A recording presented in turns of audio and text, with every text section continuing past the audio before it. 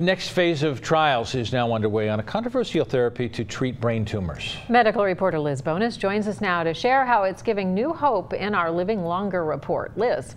Hey guys, good afternoon. The type of cancer that we are talking about today is called glioblastoma. It is the most aggressive type of cancer in adults and one that grows in the brain. It's tough to treat because it sort of spreads out like a cobweb in the brain. GBM, as it's called, is commonly treated with surgery, chemotherapy, radiation initially. But most often, this leads to survival that, according to researchers at the Cleveland Clinic, is often measured in months and not years. Now, this new experimental therapy helping people beat those odds.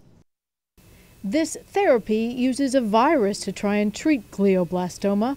It is injected as a live virus into the brain tumor. The virus then spreads within the tumor, and as this video, courtesy of Cleveland Clinic, shows, it then makes the tumor more sensitive to a specific medication. It is a virus humans usually don't get, so there's no immunity to it in the body. Researchers say the virus works as a transport system for a gene needed in the area of the tumor to treat it. A few weeks later, then, when the medication is taken, it goes to the tumor and the gene appears to convert it into a toxic chemotherapy that kills the tumor. Now, so far, it appears to be safe. Those in treatment trials, the man you saw in that video, he's one of them. He began in 2014. It appears to have this cancer under control. The next phase of research now that that has started will continue to see how well this new therapy works. You always have to uh, duplicate that. Mm -hmm. So what he has is he still has the cancer, but this is the idea of treating this like high blood pressure.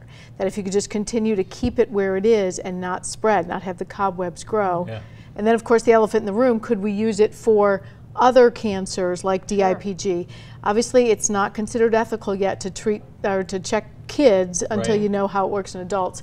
But keep in mind that what it does is it helps the transport system. So they found the transport system to glioblastoma. They'd have to find the same thing to other types of cancer to get it to work. So it gets it to where it needs to go and then makes the chemotherapy work. It's kind of oh, amazing wow. if you yeah. think about yeah, it. Yeah, I'm just sitting here watching thinking every day practically you have something like this that is a little bit of a breakthrough. And you know, the people day. that do this, they started tirelessly 10 years ago and all those walks and the people, yes. That's why it takes so much money for research. Yes, yes, they do. And they never give up. They start with that little tiny thing, yeah. say, we found the system, now we find how to yeah. work it. And it's never this big thing, it's little steps yeah. of people that never give up hope. And you find them.